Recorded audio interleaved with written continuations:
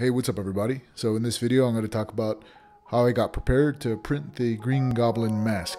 What I did is I have the iPhone 10, uh, so I went ahead and I downloaded uh, EM3D, which is a app for the iPhone 10. I'm not sure if you can actually download it for other apps, but as you can see here behind the blur um, is a scan of my face. It took a little bit of time to scan my face.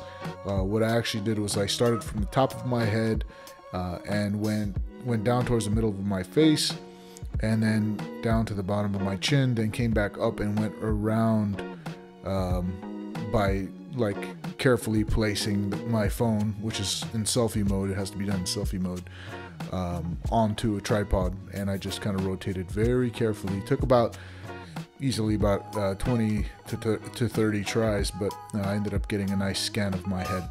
Here is the mask that I got.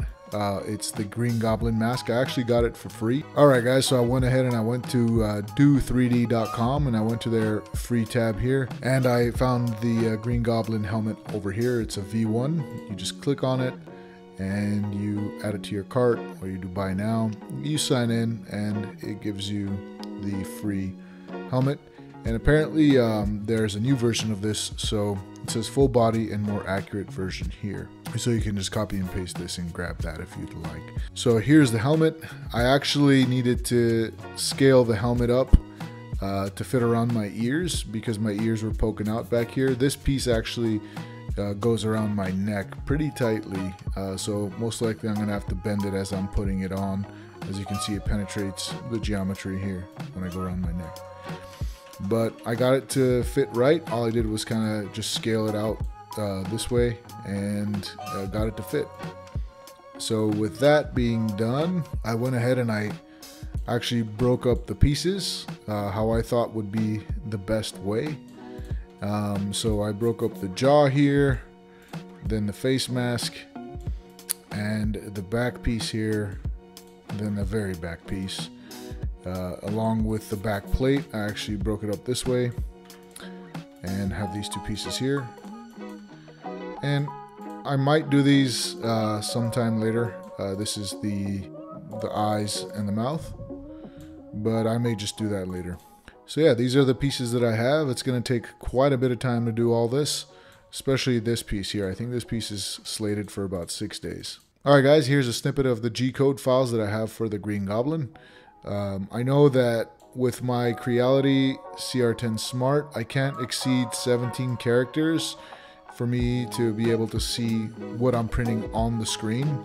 So anything beyond 17 characters, it won't print. So what I like to do is I like to abbreviate. So this is GGB, which is Green Goblin Back. Uh, and then I number the part within Maya and then I'll, i do a double underscore and I put 2.20.38, which means two days, 20 hours, and 38 minutes. So as you can see here, I got a two day print, which is actually almost a three day print. And then the six days, three hours, and 16 minutes print. I got another one day. This is going to take quite a bit of time. Um, and I thought in the beginning when I was first starting 3D printing that having long prints was not normal, but uh, over time I realized that, hey, no, it is normal. So let's do a little bit of a tally here, see how long it's going to take. So I got two days plus six days plus one day plus one day plus two days and then with the 20 hours and the 20 hours plus a little bit of change here and there i'm going to give it an extra two days so it's going to take two weeks for me to print this mask and maybe there's quicker ways of doing it but as you could tell uh, it's a pretty complicated mask. There's a lot of undulations and a lot of contours and a lot of surface changes. And that's one of the reasons why I like it. It looks like a real, real cool mask. I really, really like this Green Goblin helmet. So I wanted to always have a flat surface for me to lay down onto the print bed. So for example, I have this piece here that is completely flat and I could either lay it down this way, which is more or less flat, or I can lay it down this way. And likewise with the mask, I wanted to create flat surfaces. So I have a flat surface here and a flat surface here.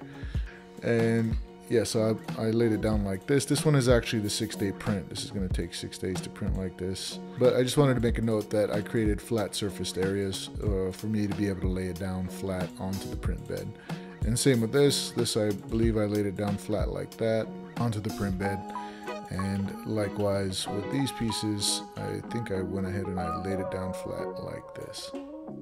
What I do before slicing up my models is that I create a bounding box within Maya that is the print area for the Creality or any other 3D printer I'm using, just so I know that when I bring it into Creality, I've sliced it the right way so that it fits properly.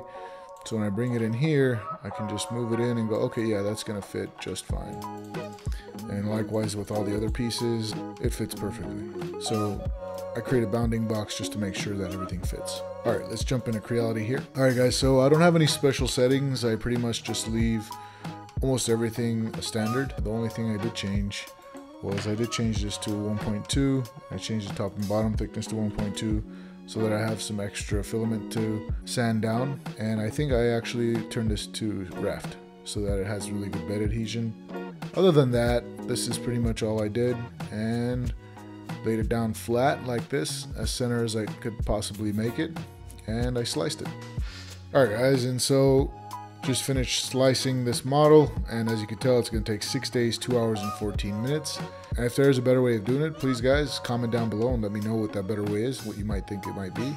As you guys can see here, this is how much filament this thing is going to eat up, and it's going to eat up about four spools of 200 grams of filament. And most of it looks like it's going to the supports, which is totally fine because I'm using a filament that I haven't had great experience with, so hopefully it'll just break off really easily. And I'm to prime it and sand it and all that, so it shouldn't really matter. But yeah, this is it here, and I'm gonna take you over to the first day's print. I think we're about six hours into this print. All right, what's up everybody? So we're here at the Creality CR10 Smart. We're about six hours and 14 minutes into the print and it's looking pretty cool. It's looking pretty good. Uh, so far it's just laid down all of the raft and it's looking just like how it looked on the slicer.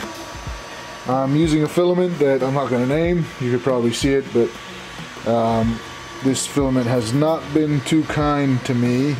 Uh, it's been printing very loose, the layer lines are not adhering very nicely, and as you can see here, it's kind of just weak in general. But that makes for good uh, supports.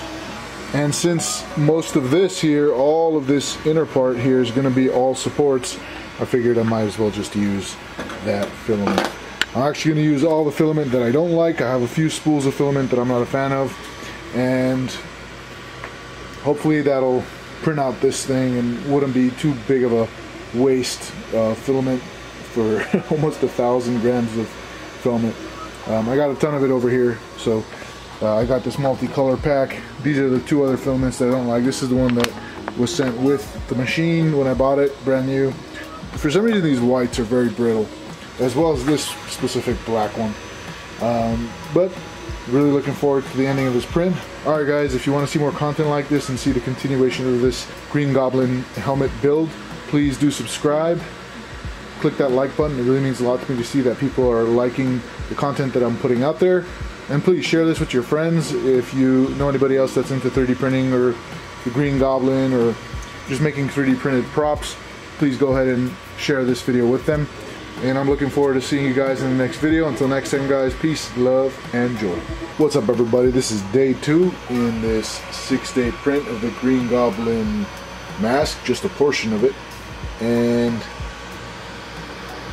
we are 34 hours and 26 minutes into a six day print. And this is the progress so far, looking real smooth. The Creality CR10 Smart is able to handle it like a charm. Loving it so far. Alright guys, just wanted to make that update. Till next time, peace, love, and joy.